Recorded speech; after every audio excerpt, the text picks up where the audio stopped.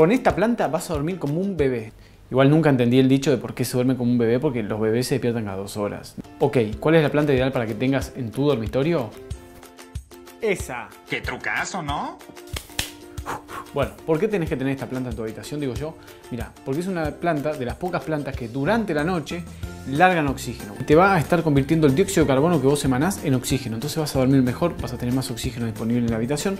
Y no solo eso, ¿eh? porque es encima una de las 10 plantas recomendadas por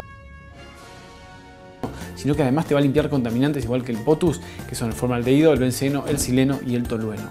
Y además tenés un montón de variedades de esta planta.